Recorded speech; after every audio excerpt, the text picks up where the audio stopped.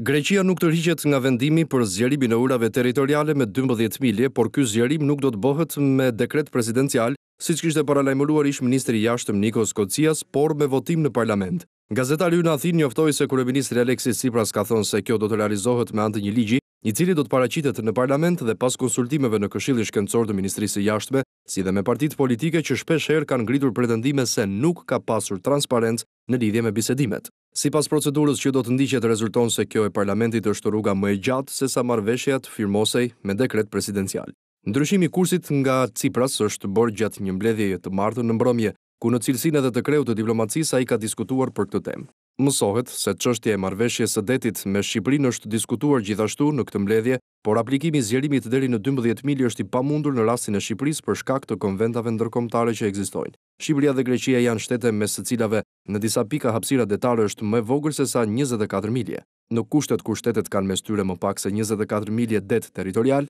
atëherë ndarja bëhet bazuar në të drejtën ndërkombëtare duke bërë korrigjimet e nevojshme sipas konfigurimit të bregdetit dhe rrethanave të veçanta. Një burim nga Ministria e Jashtme tha për Ora News se parimi i dymbëdhjetë miljeve mund të aplikohet vetëm në rastet kur deti territorial i një shteti nuk mbivendoset me detin territorial të shtetit fqinj ku distanca është më e vogël se njëzet e katër milje. Kjo tregon se distanca e dymbëdhjetë miljeve nuk zbatohet në Gjirin e Sarandës apo në zonat e tjera të detit territorial mes dy vendeve, pasi distanca në këto zona është nën dymbëdhjetë milje. Turqia një ditë më parë reagoi ashpër në lidhje me këtë shqetësim dhe në këtë duel deklaratash ka ndërhyrë edhe Uashingtoni ku Departamenti Amerikan i Shtetit ka deklaruar se qëndrimi i SHBA-së për kontekstin mes dy aleatëve nuk ka ndryshuar. Ndërkohë, Erdogan duket se do të pranojë një ftesë nga ana e kryeministrit grek Alexis Tsipras.